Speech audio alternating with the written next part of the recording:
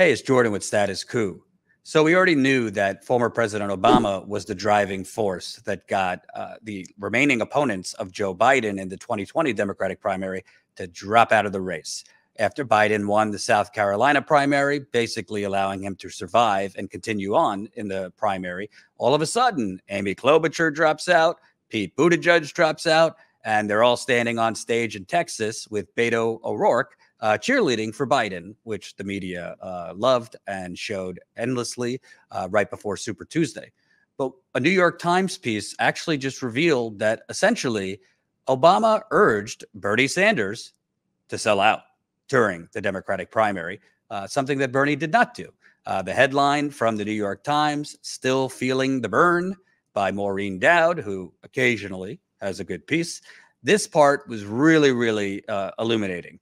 When Sanders met with Barack Obama at his Georgetown office in 2018 to tell him he was thinking about running for president again, Obama offered this advice Bernie, you are an Old Testament prophet, a moral voice for our party giving us guidance. Here's the thing, though prophets don't get to be king. Kings have to make choices, prophets don't. Are you willing to make those choices? Hmm, very biblical. Uh, Rabin-Havt, uh, that's Ari Rabin-Havt, who uh, wrote a book about Bernie. He's been with Bernie as a top advisor for years. Uh, Rabin-Havt, whose brother Ralphie worked uh, at the New York Times, writes, quote, Obama continued making the point that to win the Democratic nomination, Bernie would have to widen his appeal and convince the party to back him, which would mean being a different type of politician and a different type of candidate than he wanted to be. Bernie listened to Obama but it was clear to me he never accepted that premise. He had a fundamental belief that he could lead an uncompromising movement that would also challenge those who ran the Democratic Party while also leading that same institution, one he steadfastly refused to join.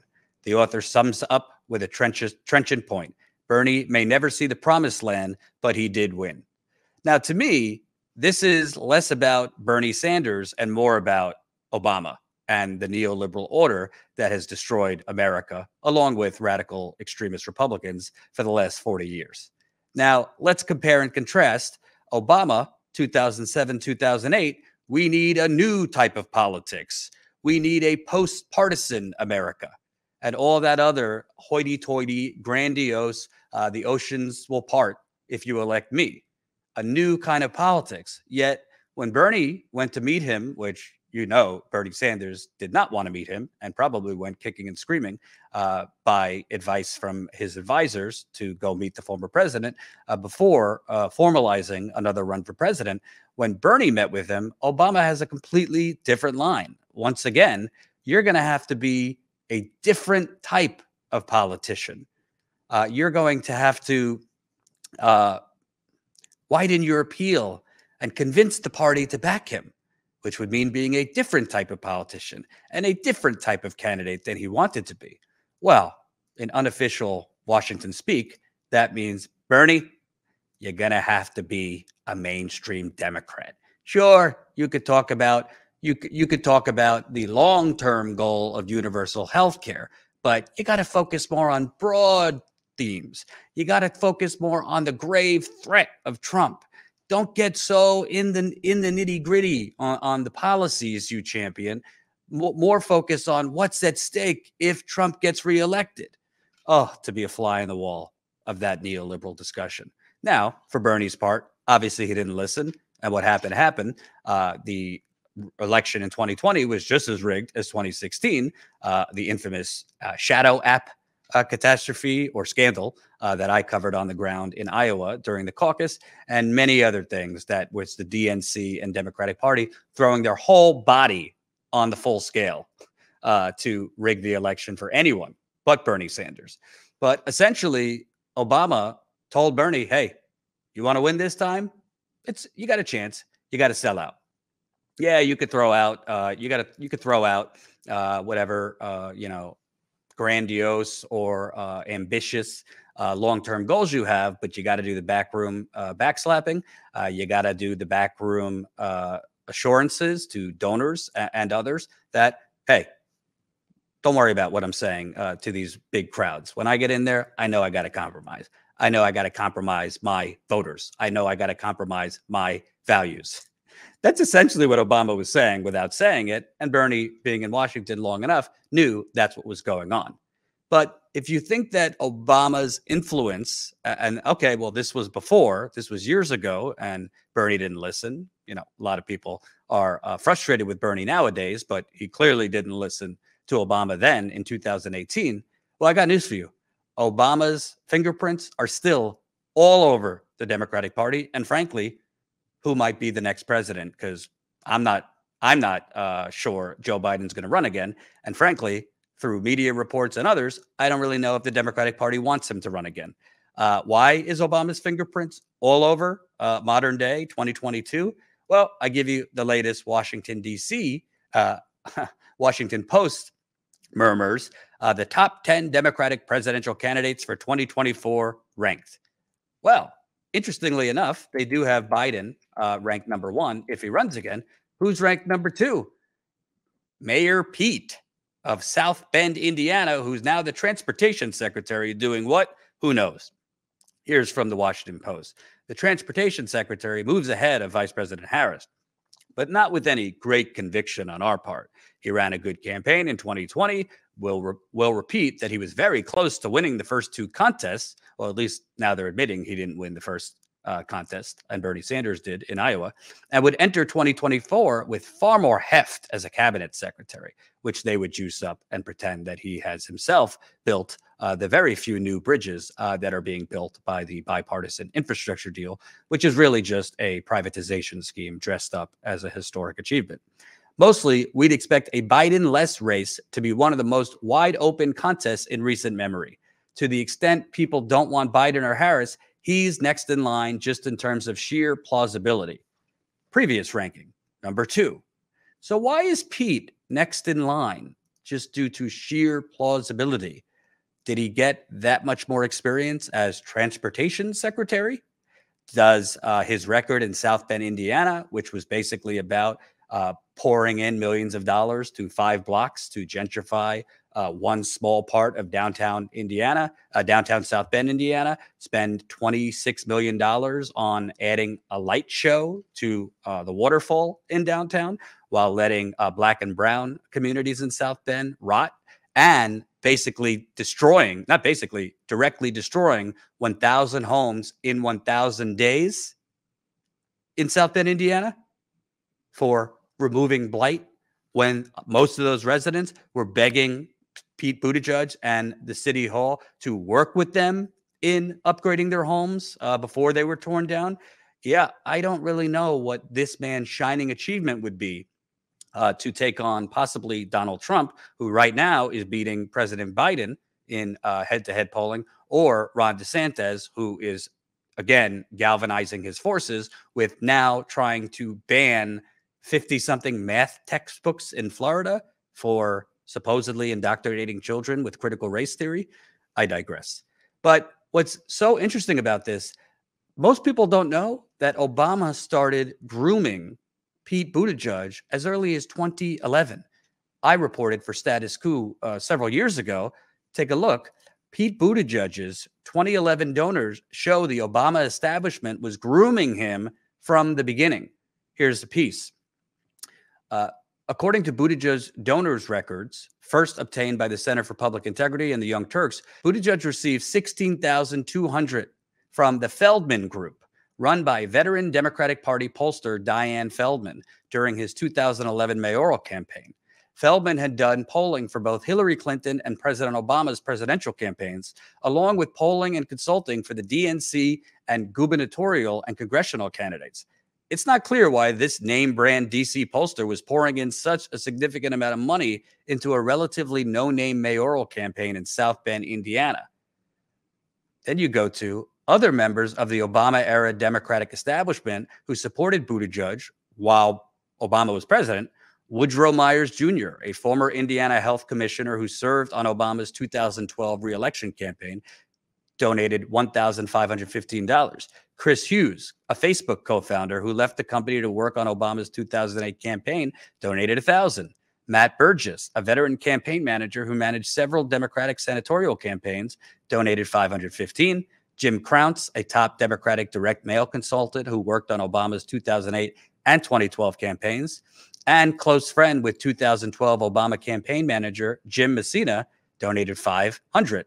Colleen Kavanaugh, the wife of Jeffrey Kavanaugh, who ran multiple reelection campaigns for Senator Ted Kennedy and worked on Je- John Edwards' 2004 presidential campaign, donated $500. Robert Barber, Obama fundraiser turned controversial ambassador to Iceland, donated $250.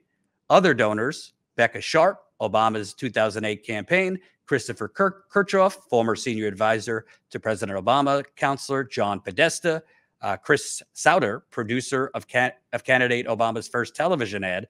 The list goes on and on. Now, you tell me, how did all these Obama people know who was mayor, who was Pete Buttigieg? He was literally a nobody in Indiana. He was running for mayor. He lost the race for state treasurer. Why big time polling firms, uh, big time senior advisors to the president, Obama, uh, big time uh, Democratic Party operatives? Why did they care so much about a little old race in South Bend, Indiana? Well, they seemingly got their marching orders from somebody, right? And Obama, we know, has been fond of Pete Buttigieg, thinking of Pete as uh, basically a, a younger uh, Obama in terms of breaking the mold and intellect and those McKinsey uh, skills that Pete acquired uh, working at the blood sucking consultancy consultancy firm McKinsey. And as we close the loop, remember, this is from the New York Times. When Obama started making calls to basically get people to drop out after Biden won uh, the South Carolina primary and getting uh, Amy Klobuchar, Pete Buttigieg to drop out, Obama, uh, Mr. Obama did not directly encourage uh, Mr. Sanders, Mr. Sanders' rivals to endorse Mr. Biden ahead of the decisive Super Tuesday primaries. But he did tell Pete Buttigieg, a moderate, that he would never have more leverage than on the day that he was quitting the race. And the former South Bend mayor soon joined the avalanche of former candidates backing Mr. Biden. So, what does that mean from Obama to Pete Buttigieg? You would never have more leverage, meaning you do what you, do what we need you to do right now, Pete. We got you when Joe steps aside. That's what that means.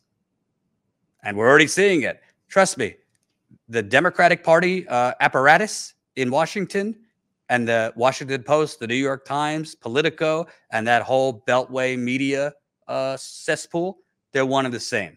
Most of the stories you start seeing, the midterms, uh, presidential uh, primaries, and of course the general election, a lot of that inside baseball stuff is directly fed to them from the Democratic Party and, of course, the Republican Party, too, on the other side. So the fact that you have the Washington Post ranking Pete Buttigieg number two, the fact that you have the Washington Post during the bipartisan infrastructure thing inflating Pete Buttigieg's role in it when he had very little to do with it, uh, the fact that the Washington Post, uh, New York Times, uh, Vanity Fair, others uh, really, really don't miss a chance to do a va- Vanity Puff piece on Pete Buttigieg. Um, yeah, those marching orders are coming from somewhere. And when I say marching orders, it's understood this is our guy. This is who's going to be on the other side of that bridge uh, Biden talked about to the younger generation. Well, for those of you that need a reminder on uh, Pete Buttigieg and uh, what he, uh, what you get if he is indeed uh, the chosen one, Here's some of my reporting uh, from South Bend, Indiana during the Democratic primary. Status Coup actually went there, and instead of doing puff pieces on him, we actually showed in real life what his main accomplishment was as mayor of South Bend, Indiana. Take a look at his historic bulldozing of a thousand homes in a thousand days. Wow, looks like a forest in the city.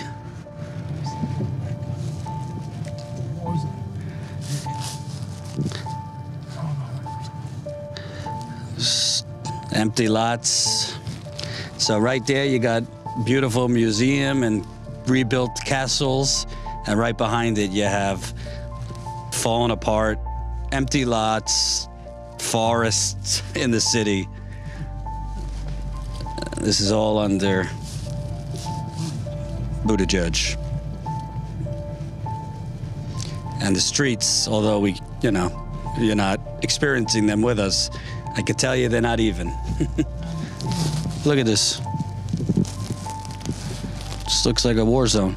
closed down businesses, closed down junkyards, empty lots. This lot here has been empty for seven years. Homes used to be there, but Buttigieg, uh, his crowning achievement, he claims, when he came into office was 1,000 homes in 1,000 days. Demolition crews came through here right in the beginning of his administration and just bulldozed all the homes there. In this lot, over here to the left, these were all homes, vacant homes, um, homes uh, that a lot of, most of them were not in use, but the black people I've spoken in town to, the working people I've spoken in town to, this was for most of them the only generational wealth they had. It was passed down to them from their grandparents, from their parents. And because they're poor, they didn't have the money to upkeep, pay electricity, fix the roof. You know, they didn't have the income because of their status, being poor or being black or being brown.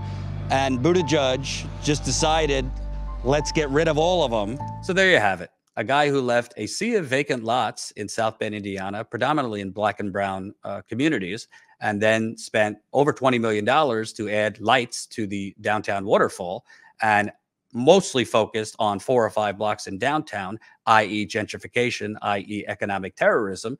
Uh, that's the guy who's the chosen one uh, to take out Donald Trump or Ron DeSantis or whatever other Trump mini me they throw out there.